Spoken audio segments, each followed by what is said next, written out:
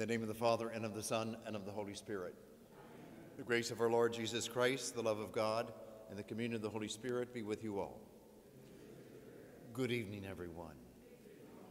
I didn't expect a crowd like Christmas. now that the, everything is warmer, there's no ice out, the number goes down. Crazy. Let's pause just for a moment and tell Christ we're sorry for our sins.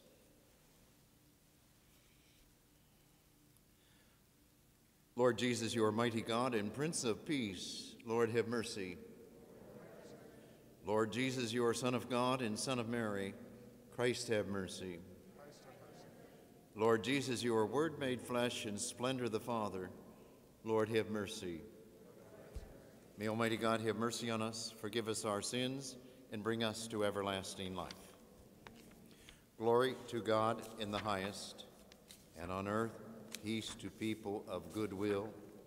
We praise you, we bless you, we adore you, we glorify you. We give you thanks for your great glory. Lord God, Heavenly King, O God Almighty Father, Lord Jesus Christ, only begotten Son, Lord God, Lamb of God, Son of the Father, you take away the sins of the world, have mercy on us. You take away the sins of the world, receive our prayer. For you who are seated at the right hand of the Father, have mercy on us. For you alone are the Holy One, you alone are the Lord, you alone are the Most High, Jesus Christ, with the Holy Spirit, in the glory of God the Father. Amen. Let us pray. O God, who is pleased to give us the shining example of the Holy Family, graciously grant that we may imitate them in practicing the virtues of family life and in the bonds of charity, and so in the joy of your house, delight one day in eternal rewards. Through our Lord Jesus Christ, your Son, who lives and reigns with you in unity of the Holy Spirit, one God forever and ever.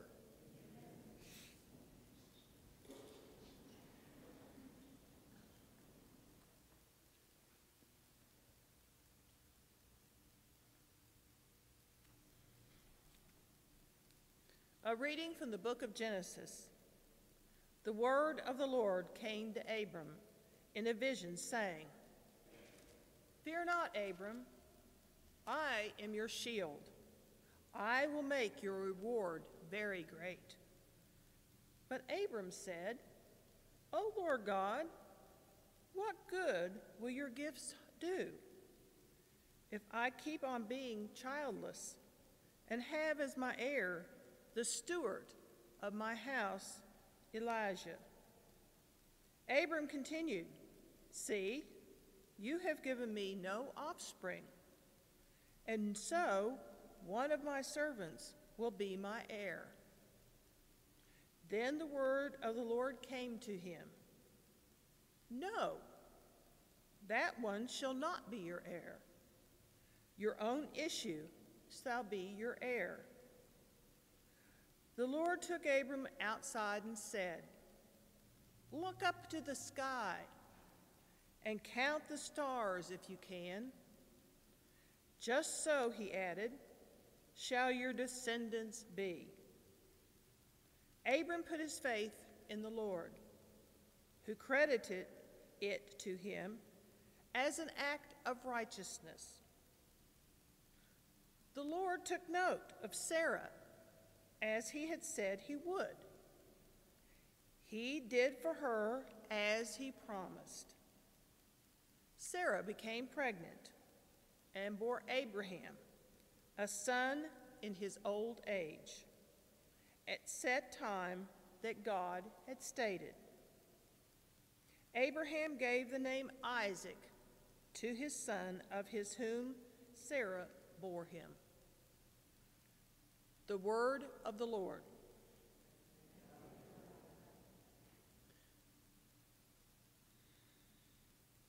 The Lord remembers his covenant forever.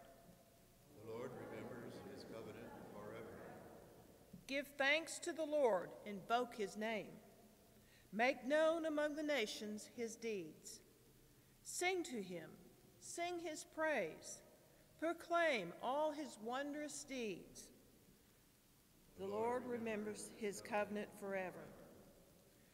Glory in his holy name. Rejoice, O hearts that seek the Lord. Look to the Lord in his strength, constantly seeking his face. The Lord remembers his covenant forever.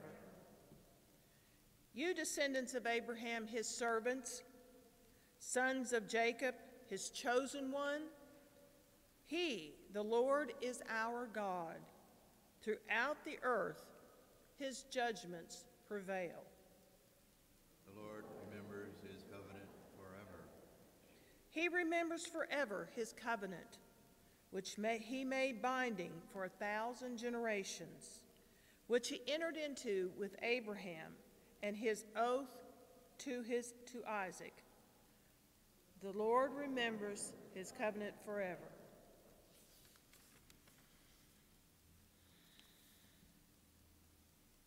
A reading from the letter to the Hebrews. Brothers and sisters, by faith, Abraham obeyed when he was called to go out to a place that he was to receive as an inheritance. He went out, not knowing where he was to go.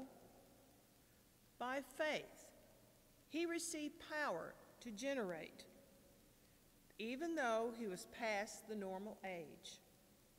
And Sarah herself was sterile. For he thought that the one who made the promise was trustworthy. So it was that there came forth from one man, himself as good as dead, descendants as numerous as the stars in the sky and as countless as the sands on the seashore. By faith, Abraham, when put to the test, offered up Isaac, and he, who had received the promise, was ready to offer his only son, of whom it was said, Through Isaac descendants shall bear your name.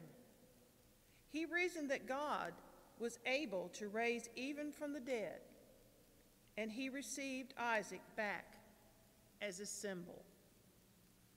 The word of the Lord. Thanks be to God. Alleluia, alleluia. Hallelujah, hallelujah. In the past, God spoke to our ancestors through the prophets. In these days, he has spoken to us through the Son. Hallelujah. The Lord be with you. A reading from the Holy Gospel according to Luke. When the days were completed for their purification according to the law of Moses, they took him up to Jerusalem to present him to the Lord, just as it is written in the law of the Lord. Every male that opens the womb shall be consecrated to the Lord, and to offer the sacrifice a pair of turtle doves or two young pigeons, in accordance with the dictate in the law of the Lord. Now there was a man in Jerusalem whose name was Simeon. This man was righteous and devout, awaiting the consolation of Israel, and the Holy Spirit was upon him. It had been revealed to him by the Holy Spirit that he would not see death before he had seen Christ the Lord of the Lord. Came in the Spirit into the temple when the parents brought in the child Jesus to perform the custom of the law in regard to him. He took him into his arms and blessed God, saying, Now, Master, you can let your servant go in peace, according to your word. For my eyes have seen your salvation, which you prepared in the sight of all the peoples, a light for revelation to the Gentiles, and a glory for your people Israel. Child's father and mother were amazed at what was said about him. And Simeon blessed them and said to Mary, his mother, Behold, this child is destined for the fall and rise of many in Israel, and to be a sign that will be contradicted. and you yourself a sword will pass, so that the thoughts of many hearts may be revealed. There was also a prophetess, Anna, the daughter of Phanuel, of the tribe of Asher. She was advanced in years, having living, lived seven years with her husband after her marriage, and then as a widow until she was 84. She never left the temple, but worshiped night and day fasting, and prayer. And coming forward at that very time, she gave thanks to God and spoke about the child to all who are awaiting the redemption of Israel. When they had fulfilled all the prescriptions of the law of the Lord, they returned to Galilee to their own town of Nazareth. The child grew and became strong, filled with wisdom, and the favor of God was upon him the gospel of the Lord.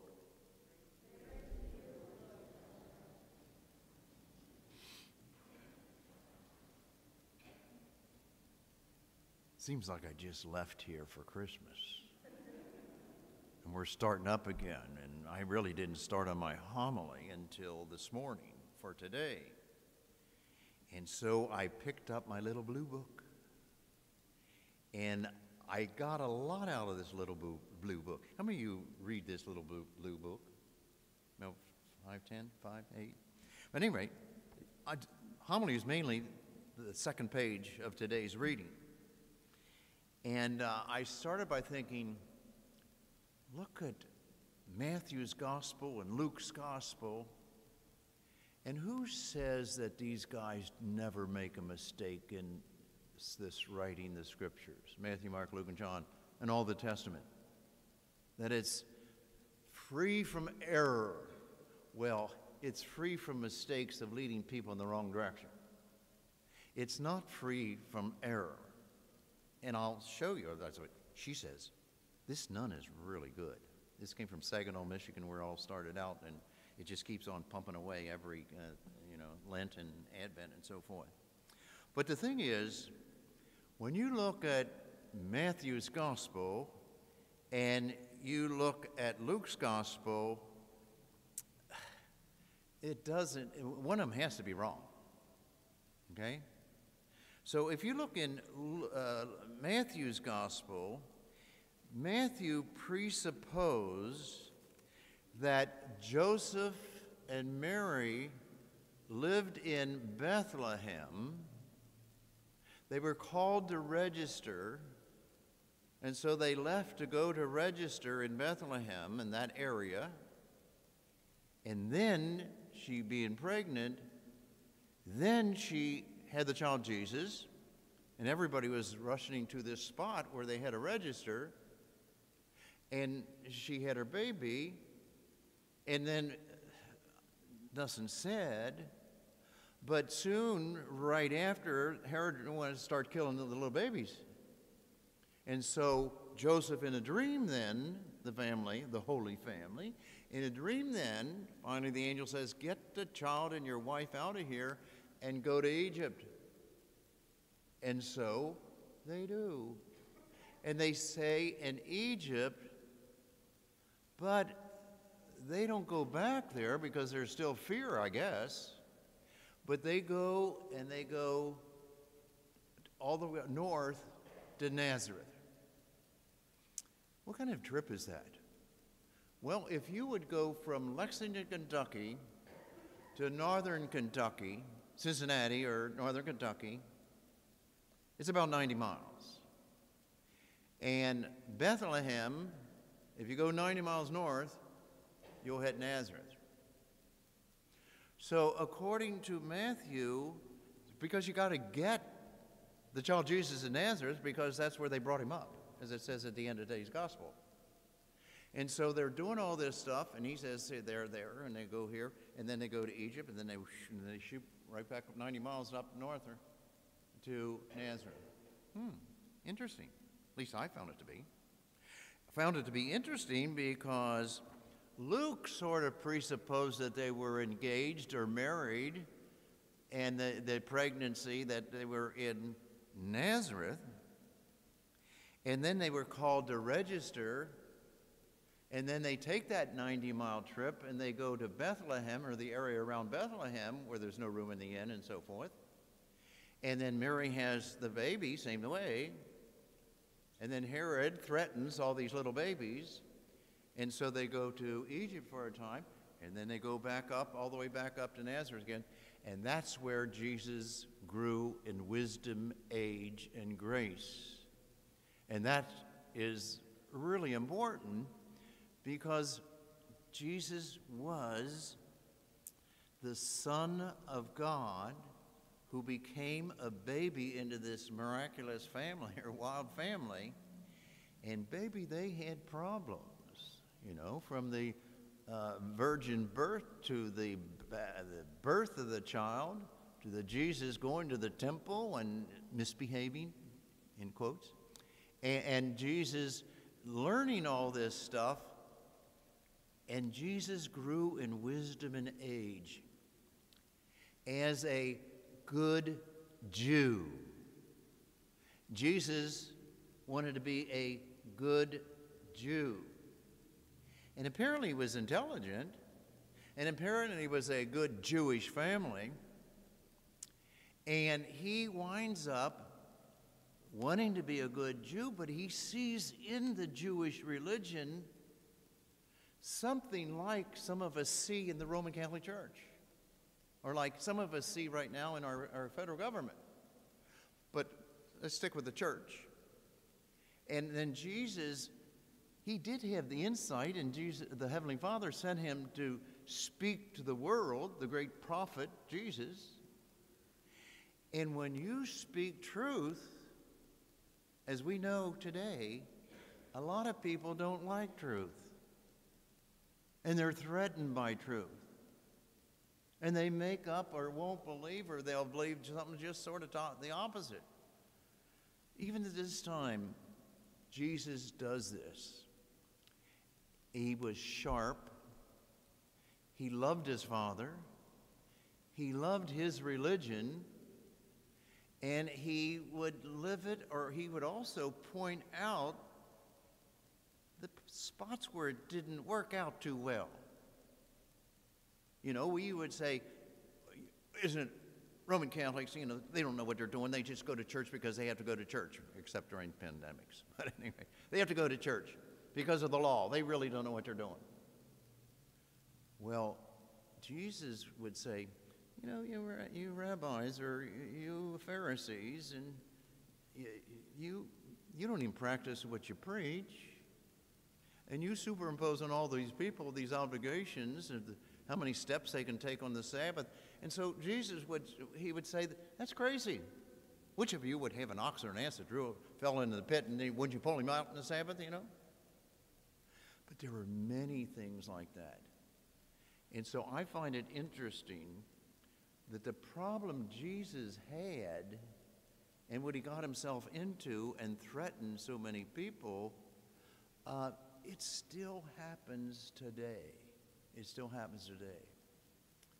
And so, what I decided to do this morning was to show you how that just happens today, or at the time of Jesus, and then in the early church, and then in around 304, the Constantine Church, where it became very institutional and so forth, and then we're wound up pretty uh, united until the East and the broke with the West, and then in the West later on, the West broke apart with the Reformation and we just had a terrible turnaround or tune in on Vatican Council. But this morning, when I was doing my thing on uh, YouTube, I, I, finished where I just stopped here, and, I, and it said nine minutes. And I was just getting ready to go to point two. And I says, I am not. They've been in church enough. You just got point one. Well, when I go home tonight, I hope, because I did, point two on YouTube, second YouTube. And I just find it, it really is interesting when you look at Jesus who would question the Jewish religion or point out parts that he didn't agree with and he got into deep trouble. Lot of people in religion who does do the same thing today. A lot of things.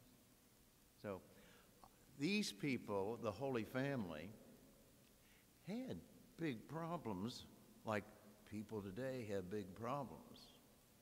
The leaders of the day, and Jesus was a great leader, of course. John the, John the Baptist also questioned and told a few things and got into deep trouble and had his head cut off. So things haven't changed too much. The kingdom of God's coming, but it sure is slow getting here. It really is slow. Why don't you help it out? and uh, hurry it up.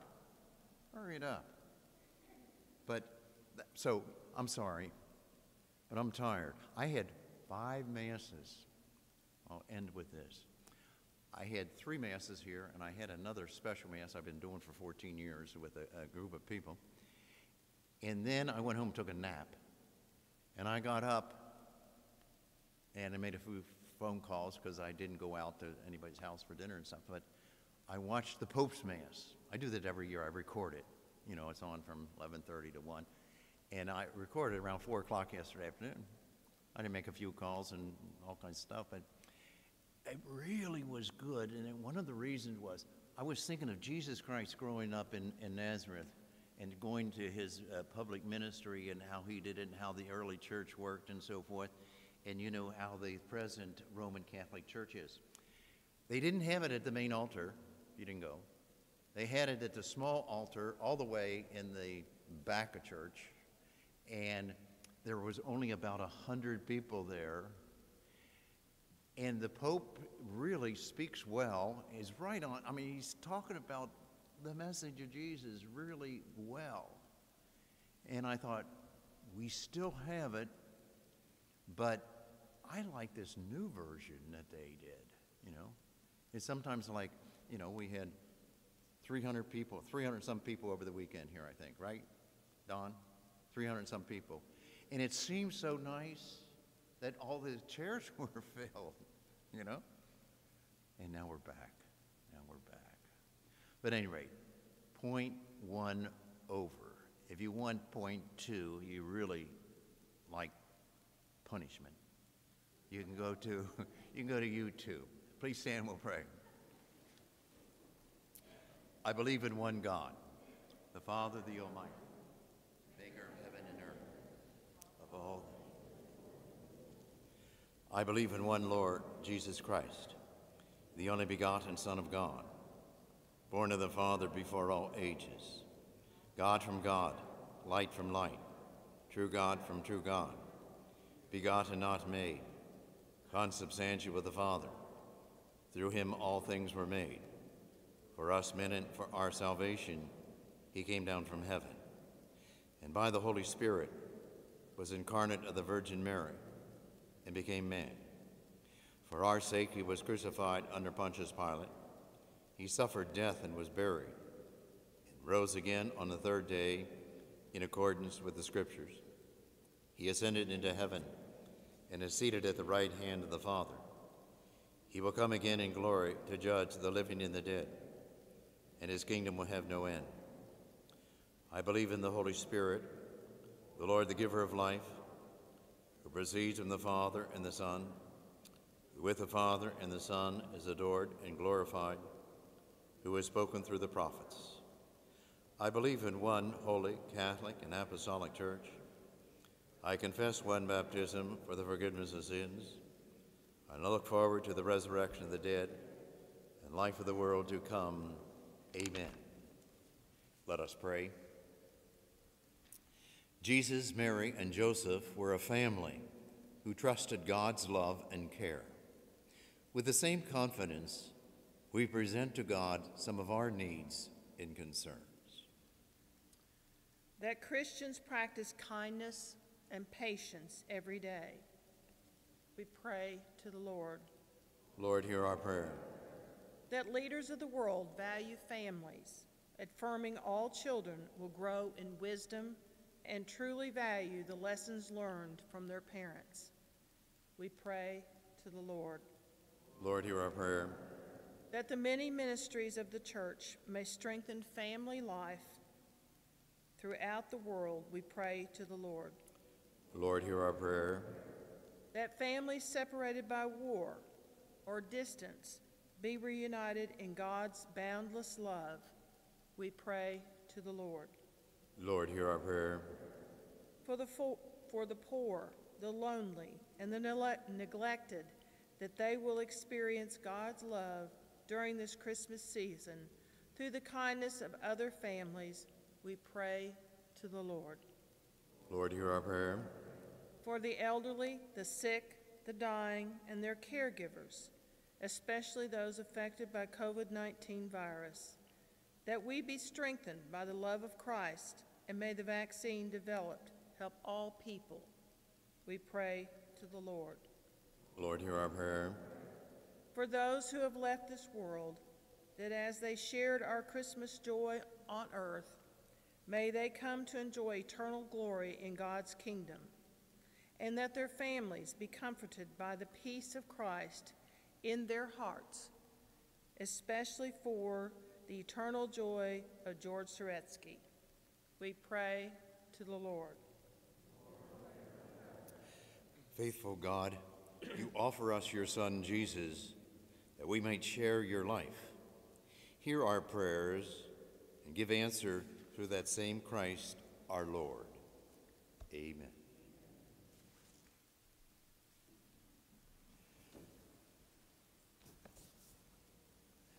Blessed are you, Lord God of all creation, for through your goodness we have received this bread we offer you, fruit of the earth, work of human hands. It will become for us the bread of life.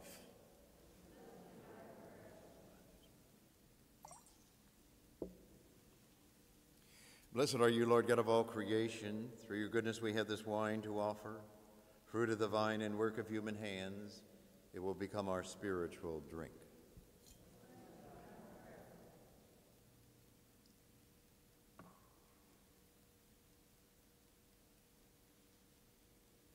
Pray that my sacrifice and yours may be acceptable to God the Almighty Father.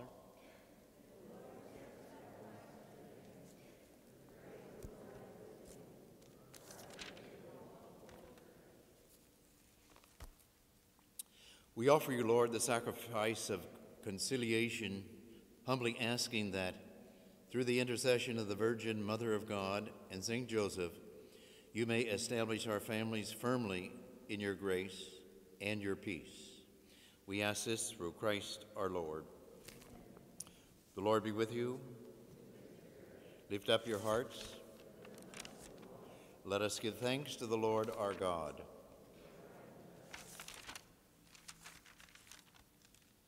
It is truly right and just, our duty and our salvation, always and everywhere to give you thanks. For in the mystery of the Word made flesh, a new light of your glory has shone upon the eyes of our minds, so that as we recognize in Christ God made visible, we may be caught up through him in love things invisible. So with angels and archangels, with thrones and dominions, with all the hosts and powers of heaven, we sing the hymn of your glory as without end we acclaim. Holy, holy, holy Lord, God of hosts, heaven and earth are full of your glory. Hosanna in the highest. Blessed is he who comes in the name of the Lord. Hosanna in the highest. Lord, you are holy indeed, the fount of all holiness. Make holy, therefore, these gifts, we pray, by sending down your Spirit upon them, so that they may become for us the body and blood of our Lord Jesus Christ. At the time he was betrayed and entered willingly into his passion, he took bread and giving thanks, broke it, gave it to his disciples, saying, Take this, all of you, and eat of it, for this is my body, which will be given up for you.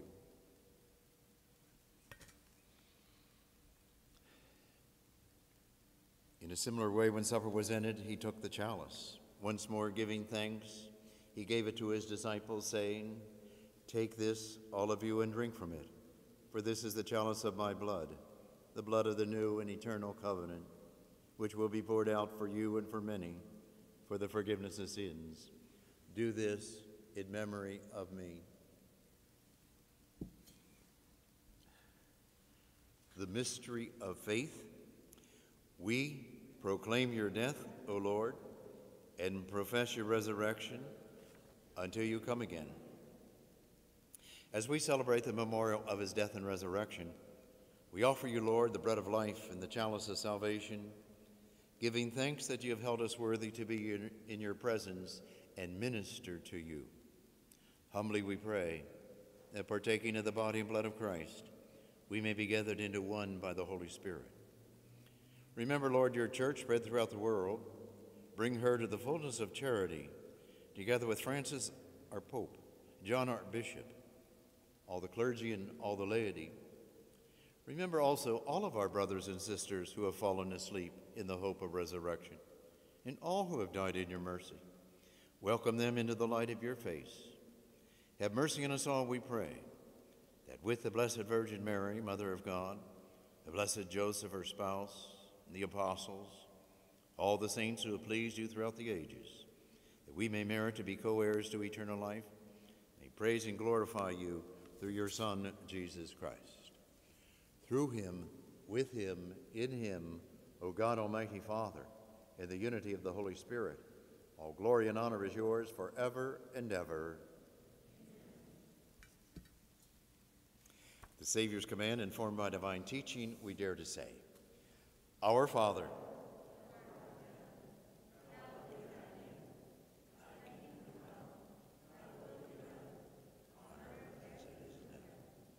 Give us this day our daily bread, and as we forgive those who trespass against us.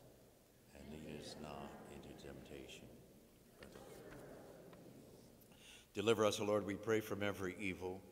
Graciously grant peace in our days, that by the help of your mercy we may be always be free from sin and safe from all distress, as we await the blessed hope and co- the coming of our Savior, Jesus Christ.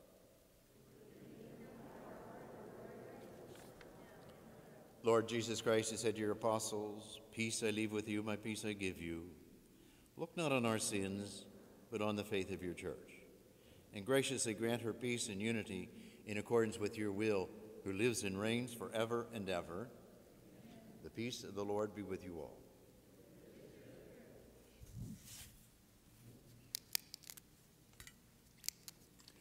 Lamb of God, you take away the sins of the world. Have mercy on us. Lamb of God, you take away the sins of the world. Have mercy on us. Lamb of God, you take away the sins of the world. Grant us peace.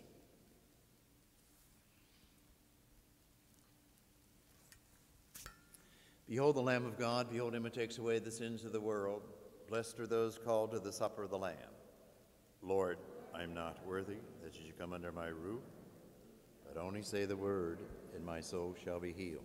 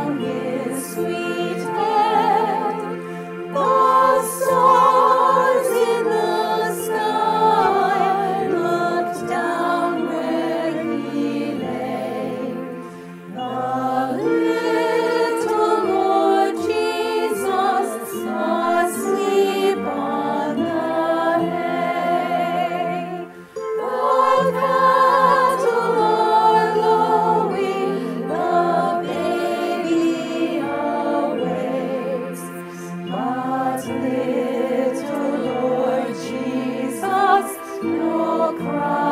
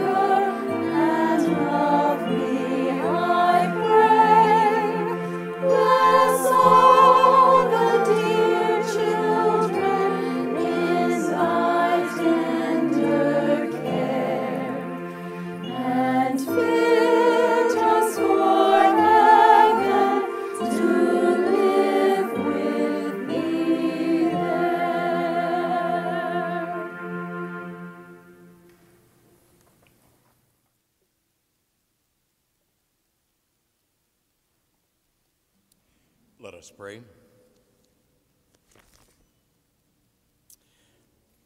Bring those you refresh with his heavenly sacrament, most merciful Father, to imitate constantly the example of the Holy Family, so that after the trials of this world, we may share their company forever. We ask this through Christ our Lord. One quick little announcement. This Tuesday, there will not be the normal 9:30 Mass because we're having a funeral during that Mass. Anybody is welcome to come to it. It's Mary Lou Blair's funeral at 9:30. Okay. Have a good evening. The Lord be with you. May Almighty God bless you, the Father, the Son, the Holy Spirit. Go in peace, do love, and serve the Lord.